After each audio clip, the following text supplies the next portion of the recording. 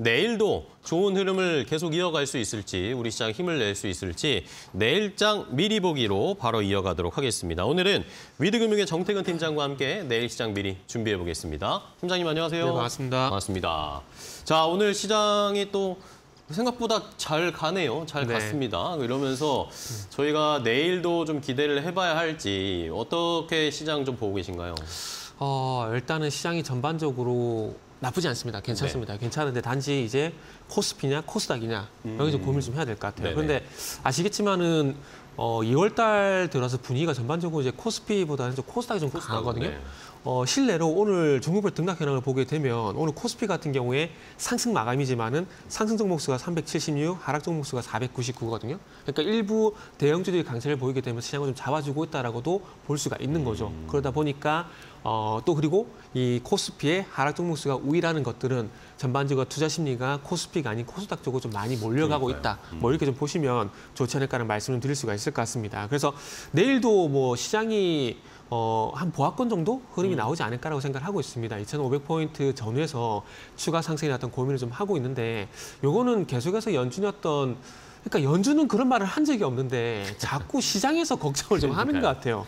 그래서 이 그냥 노파심이라고 하겠습니다. 그래서 이 노파심 때문에 좀 코스피 어떤 추가 상승이 제한되지 않을까라는 말씀을 좀 드려야 될 것 같고요. 그러다 보니까 아무래도 서두에 말씀을 드린 대로 코스피보다는 코스닥이 좀더 어, 우위를 보이는 그런 흐름들이 나오지 않을까 생각을 하고 있습니다. 그러다 보니까 아무래도 이 대형주 대형주도 물론 가긴 하지만 그럼에도 불구하고 어 어떤 퍼센테이지 측면에서 봤을 때 약간 코스닥 개별 종목들이 좀 더 우위에 있다라는 말씀을 드릴 수 있을 것 같아요.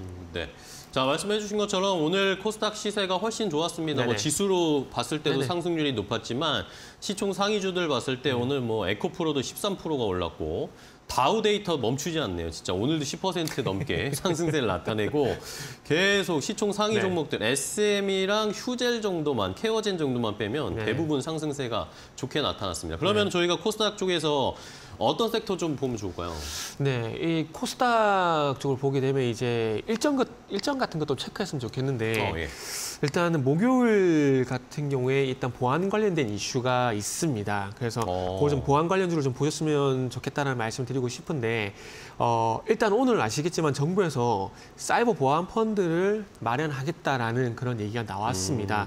이게 아무래도 지금 해외 쪽 같은 경우 빅테크 기업들이 이제 보안업체를 좀 인수를 하고 그리고 이 보안업체들끼리 또 M&A가 진행이 되고 있는 상황인데 그것보다는 이제 챗 GPT라든지 뭐 블록체인이라든지 그리고 이제 턱- 증권형 토큰 가장 중요한 게 뭘까 뭐겠습니까? 보안이거든요. 음. 그러다 보니까 보안 관련주가 좀 순환매 관점에서 또 시간차를 두고 좀 강세를 보이지 않을까라는 말씀을 드릴 수 있을 것 같아요. 그래서 목요일 날 또 국회에서 LG U 플러스 개인정보 유출 긴급 점검을 합니다. 오. 그래서 이런 이슈들도 있기 때문에 보안 관련주도 어, 물론 지금 주가 위치가 이렇게 높진 않아요. 상당히 음. 그뭐 옆으로 좀 기고 있는 상황이고 주가 현재 상황은 좋지 않지만 뭐 이런 이슈가 있기 때문에 한번 관심을 가져봐도 되지 않을까라는 말씀을 드리도록 할게요. 음, 그러면은 보안주 네. 지금 정도에 담아도 괜찮다고 보세요?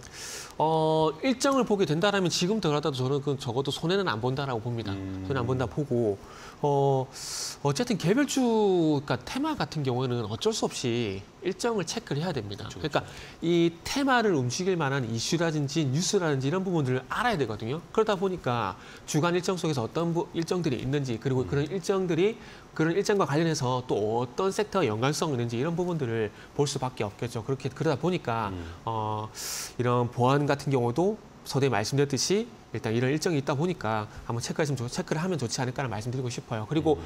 지금 어쨌든 챗 GPT가 1월 달 상당히 뜨거웠었다가 네네. 지금 조금 이제 분위기가 좀 식는 감이 없지 않아 좀 있거든요. 네네.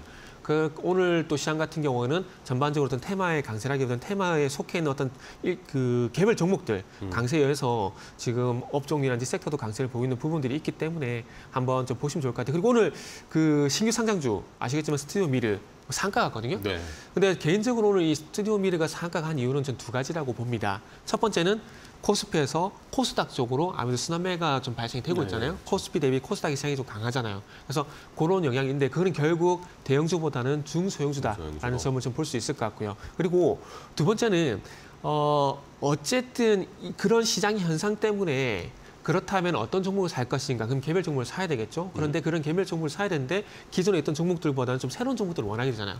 그러다 보니까 신규 상장주가 상당히 후레쉬한 거죠. 그러다 보니까 신규 상장 쪽으로 수급이 집중되게 되면서 이런 현상이 좀 발생된다 보시면 될 것 같아요. 근데 이런 현상이 나타난 이유는 결국에는 대형주보다는 중소주 중심의 개별주가 어쨌든 시장에서 주목을 받고 있기 때문에 이런 현상이 나타나 보시, 나타난다라고 보시면 될 것 같아요. 만약에 지난달에 스튜디오 미르가 상장했다라면은 저 개인적인 생각이지만 사가 못 갔을 가능성이 그쵸, 있습니다. 어, 그렇기 때문에 일단은 뭐 스튜디오 미르가 강세를 보이는 뭐 그렇게 말씀드리면 될 것 같아요. 알겠습니다. 자, 어쨌든 중소형주 코스닥 쪽으로 이제 시장의 열기가 조금 옮겨간 듯한 드- 네네. 분위기가 오늘도 확연하게 느껴졌습니다. 자, 그렇다면은 내일 저희가 공략해 볼 만한 네. 종목도 하나 체크해 봐야겠죠. 어떤 거 보세요? 네, 어, 저는 개인적으로 요즘에 바닥에서 올라오는 종목들 상당히 선호를 하는 편입니다. 조금 주식 사고 좀 마음이 편해야 되거든요. 그렇죠. 그러다 보니까 느긋하게 좀 볼만할 수 있다는 판단에 비용입니다. 그렇죠. 네. 비용이고 리스크입니다. 네. 그렇기 때문에 어, 그런 종목들 보는데 오늘은 AP 시스템이라는 종목을 좀 말씀을 드리고 음, 싶어요. AP 시스템. 네, 오늘 상승하는 이유가 물론 2.5%가 뭐 급등은 아닙니다. 아, 절대 아닙니다. 아닌데 그래도 최근에 어쨌든 19,500원대 전 고점대를 현재 돌파를 하는 흐름이거든요. 반드시 저는 이유가 있다고 봅니다. 근데 음. 오. 제 개인적으로 찾아본 이유는 그렇더라고요. 어, 결국에는 XR 헤드셋, OLEDoS 이런 이슈라 좀 보시면 될 것 같아요. 삼성 디스플레이가 어, 작년 12월 달에 드디어 OLEDoS 파일럿 라인을 구축을 시작했다라고 합니다. 네.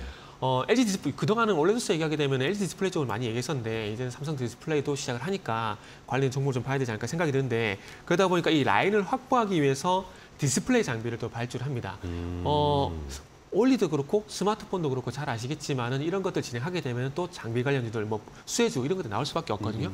그러다 보니까 이제 이 삼성 디스플레이가 OLEDoS를 진행하게 되면 또 어떤 장비주가 수혜가 될 것인가 이런 부분을 찾아봤는데 두 개 기업이 있더라고요. SFA, AP 시스템. 그러니까 음. 어, 파일럿 라인을 구축을 하게 되면서 여기에 실적으로 장비를 납품하는 회사가 두 개밖에 없습니다. 그러다 보니 그 두 개 회사가 방금 말씀드린 SFA, AP 시스템이라고 보시면 될 것 같은데 이 AP 시스템 같은 경우는 증창 유기물 산화 방지, 그러니까 봉지 공정, 그러니까 봉지니까 말 그대로 싼다고 보시면 될 것 같아요. 네. 외부로 싼다 그런 느낌이라고 보시면 될 것 같아요. 그래서 봉지 공정에 들어가는 장비를 수주를 받고 이제 납품을 하고 있습니다. 그렇기 때문에 어, 삼성 디스플레이의 OLEDoS 수혜주라고 보시면 될 것 같고 SFA보다는 차트 흐름이 더 나아서 이 종목을 가지고 왔습니다. 그래서 마지막 차트를 보시면서 가격 전략도 말씀드릴게요.